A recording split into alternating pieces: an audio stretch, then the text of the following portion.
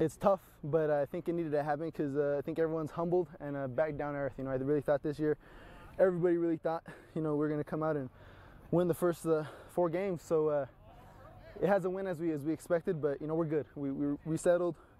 We're back together, ready to go.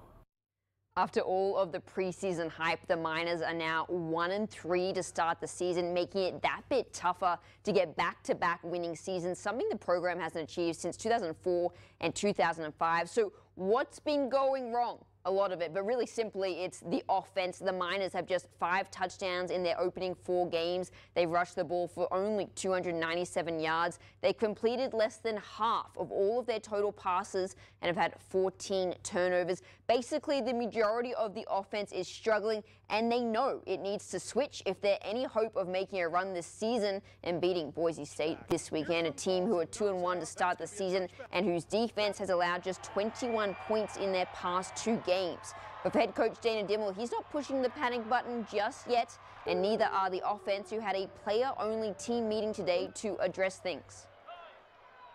If we're in a situation where we're saying, okay, we just don't have the talent to get it done, right, then I would be, then I would say, okay, you know, it could be a rocky road for us. But right now, we need, we need to stay strong, handle the adversity, and, and go attack each and every game and each and every situation that we have. Mindset is just to get better. Um, everyone just focus on each other, just be a self-led group and motivate one another, you know, because when adversity strikes, uh, we can't just back down. We just got to keep going full head of steam.